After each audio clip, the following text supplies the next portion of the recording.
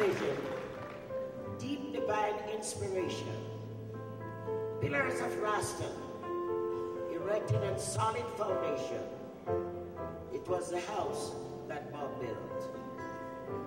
With reggae music and prophecy, he told of humanity's destiny. Stone by stone, his house built so strong. Mystical music was the mortar mix in every. Talking about the house that Bob built. He turned suffering into an ideology, made Rastafari his philosophy. He turned alienation into an independent spiritual nation.